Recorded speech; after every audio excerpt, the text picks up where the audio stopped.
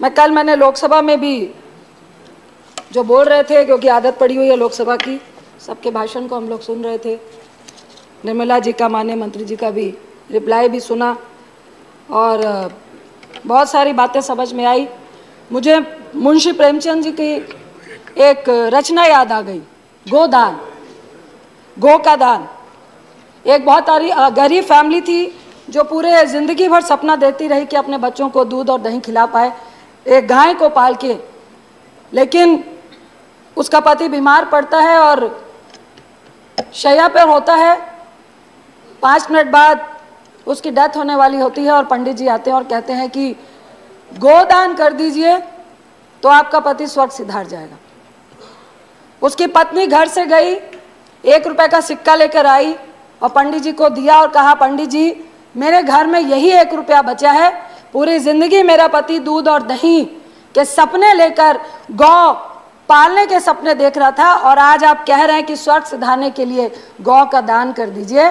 मैं ये इसलिए बोल रही हूँ कि आज गरीब के पेट में लात मारी जा रही है और मोदी साहब हमारे कह रहे हैं, थाली बजाओ थाली बजाओ थाली बजाओ। आप सारा ठीकरा, आप सारा ठीकरा यूक्रेन की लड़ाई पे ठोक रहे हैं। आप कोविड को दे रहे हैं लेकिन आपने आपकी नीति ने जो नोटबंदी से 2016 से जो गलतियाँ पे गलतियाँ गलतियाँ पे गलतियाँ की कभी भी उसका आप ज़िक्र नहीं कर रहे जितने अर्थशास्त्री थे उन सबने कहा था जब हमारे देश की आर्थिक स्थिति बिल्कुल स्टेबल थी उस वक्त नोटबंदी नहीं कीजिए नहीं कीजिए नहीं कीजिए। आपके स्वर्गीय में उनका नाम नहीं लूँगी उन्होंने भी कहा था कि नहीं करनी चाहिए नोटबंदी। उस दिन से आज तक हम अपने देश की आर्थिक स्थिति को संभाल नहीं पा रहे। मैं 2013 का प्रधानमंत्री जी का भाषण याद कर रही थी, जिन पे उन्होंने कहा था कि, मनमोहन सिंह जी, महँगाई का माँ नहीं बोलते हैं। प्लीज़, मनमोहन सिंह जी आए और महँगाई के बारे में बताएँ कि कब कम होगी। उन्होंने कहा, मरो तो मरो, आपका नसीब। ये प्रधानमंत्री मोदी जी के शब्द थे मनमोहन सिंह जी के लिए उन्होंने कहा था कि आप गरीबों के लिए कह रहे हैं? मरो तो मरो आपका नसीब। मुझे फिर याद आ रहा है कोविड का वक्त जब करोड़ों लोग सड़कों में चल रहे थे हज़ार हज़ार किलोमीटर चल के जा रहे थे तो मुझे लगता है मोदी साहब यही कह रहे थे मरो तो मरो आपका नसीब। क्योंकि उस वक्त गरीब को पैसा देना था तो आपने क्या बोला? सारे गरीब घर से बाहर निकलो और थालियाँ बजाने का काम करो। थाली बजाने से आपके पेट में भोजन मिल जाएगा। फिर हमारे माननीय मंत्री स्मृति ईरानी जी ने कहा कि जब भूखा बच्चा चीख चीख कर भूख से व्याकुल हो रहा होता है तो सरकार क्यों नहीं सुनती है? जब किसान आत्महत्या कर रहा होता है तो आपके कान में आप रुई डाल के सो जाते हो। आई विश कि स्मृति जी आइए और हम लोगों के साथ अगर आप चीख चीख के उस बच्चे की पुकार और दर्द को समझ रही थी तो आइए ना आज। आज गैस सिलेंडर दस हज़ार चौवन रुपए हो गया है। आज आप हमारे साथ चीख चीख कर गरीबों की बात करिए। अपने घर की रंजिश मत निकालिए प्लीज़ आप मंत्री। इसके बाद मैं सुषमा जी का एक मिनट एक, माननीय- मंत्री किसी का नाम लेकर मंत्री यहाँ सवाल नहीं करना चाहिए। हाँ। स्वर्गीय सुषमा जी की स्पीच को याद करना चाहती हूँ जिन्होंने कहा था कि यह संवेदनहीन सरकार है। यह बिल्कुल भी गरीबों के बारे में सोचने वाली सरकार नहीं है। यह विश्वासघाती सरकार है। आज मुझे कहना पड़ रहा है कि अगर सुषमा जी होती तो वो निश्चित बोलती कि यह संवेदनहीन सरकार है, हमारी ही सरकार है। यह विश्वासघाती सरकार है, हमारी ही सरकार है। मुझे डर लगता है जब मैं प्रधानमंत्री की उस स्पीच को सुनती हूँ, जो उन्होंने कहा था कि घर में चूल्हा नहीं जलता है बच्चे भूख से रो रो कर सोते हैं और माँ आँख में आँसू लेकर चुप हो जाती है। जब आँसू की बात पीएम साहब के मुँह से सुनते हैं तो हमें डर लग जाता है क्योंकि उन्होंने पहले मिडिल क्लास से महिलाओं के आँसू निकलते हैं मेरे भी निकलते हैं। सब्सिडी छोड़ दो महिलाओं ने छोड़ दी। कहा गरीबों को सब्सिडी देंगे महिलाएँ पसीज गई। हम सबने सब्सिडी छोड़ दी। आज हर्ष क्या हुआ? आज आपने 1600 रुपए का एक झुंझुना पकड़ाकर सात करोड़ लगभग लोगों को आपने चूल्हा और गैस दिया।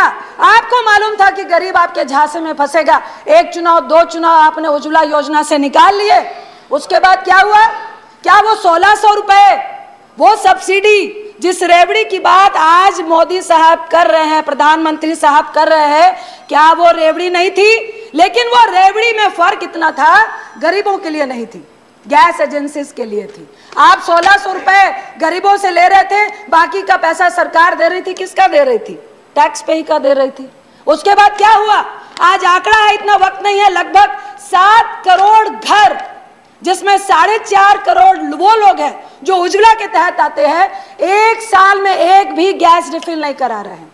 साढ़े तीन करोड़ के लगभग वैसे लोग हैं जो साल में एक रिफिल करा रहे हैं। ये किसको दिया था झुंझुना? ये किसकी रेवड़ी थी? रेवड़ी तो प्रधानमंत्री साहब आपने भी दी।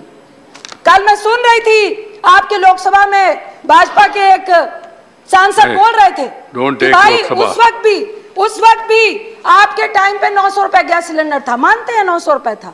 लेकिन हम अपनी रेवड़ियाँ गरीबों में दे रहे थे, बिल्कुल चार सौ रुपए कम में गैस सिलेंडर दे रहे थे। हम गरीबों की मदद कर रहे थे, हम एनपीए की और करोड़पतियों की मदद नहीं कर रहे थे। हम उनके साढ़े तीन तीन लाख करोड़ रुपए माफ़ नहीं कर रहे थे, हम गरीबों को दे रहे थे।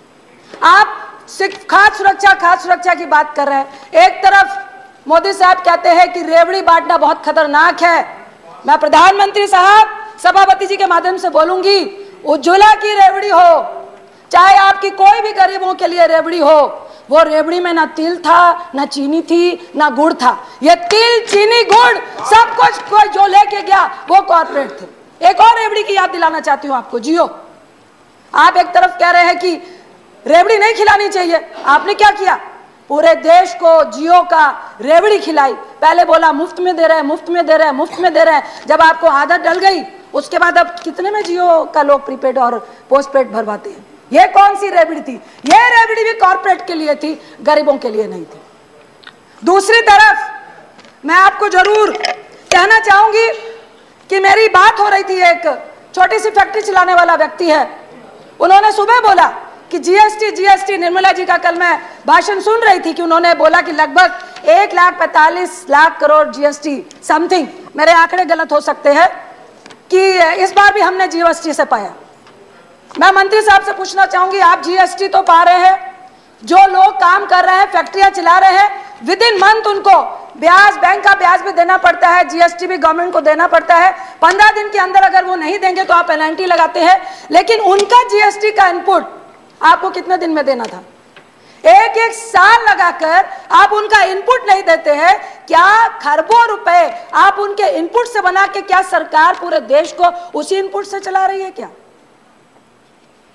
तीसरी बात तीसरी बात प्लीज़ तीसरी बात मैं एक बच्चे से मिली सोलह सत्रह साल के बच्चे से। आप जीएसटी लगा रहे हैं पाँच परसेंट आप जीएसटी लगा रहे हैं बारह से अठारह परसेंट। दोनों ही जीएसटी में आम आदमी मरता है। किसी ने बोला कि पाँच परसेंट जीएसटी से किसको फ़र्क पड़ेगा? पड़ता है।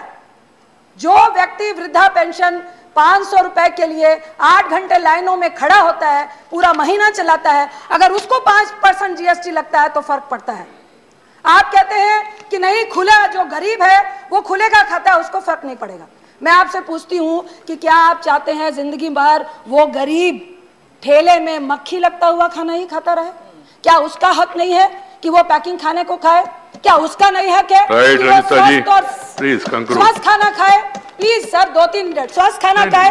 दूसरी तरफ़ आप ये बताइए टेट्रा पैक में जो 10 से 12 रुपए की लस्सी छाछ दूध दही हम सब बच्चे स्कूल से आते हैं तो जाके किसी भी एमडीएमसी के एमडीसी के उससे छाछ लेते हैं। तो क्या उसमें आप 12 से 18 परसेंट जो लगा रहे हैं वो क्या गरीब अमीर खाता है? या किसी करोड़पति का बच्चा वो टेट्रा वाली लस्सी पीता है?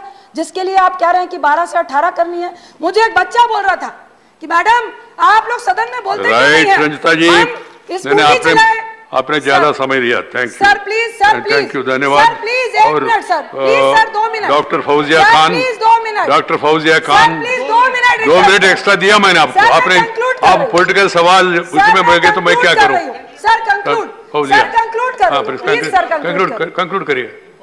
उसने बोला कि आप बताते क्यों नहीं है? स्कूटी से जाए तो तेल महँगा।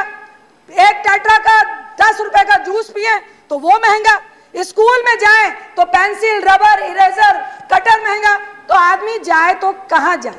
एक तरफ़ आप नोट कोविड में 23 करोड़ को गरीबी रेखा में लेके आ गए। 98 परसेंट लोग की सारी आमदनी घट गई। मैं आपसे एक रिक्वेस्ट करती हूँ।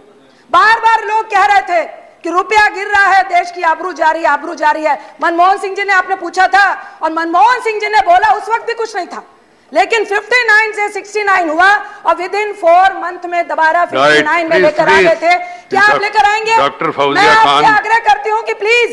जहाँ पर कांग्रेस इस देश की आर्थिक स्थिति को छोड़ के गई थी